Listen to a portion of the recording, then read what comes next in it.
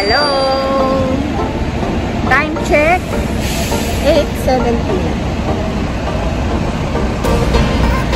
Ayan.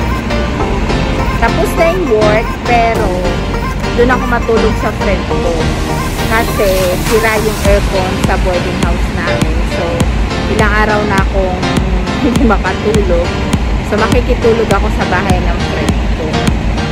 Hanggang, so Wednesday ngayon. So, Wednesday, Thursday, Friday. Tapos, Saturday, Sunday, maghanap ako ng matutulugan para makapag-rest ako ng maayos yun. So, yan. Itutur ko kayo ng Hong Kong na nakasakay sa bus during night.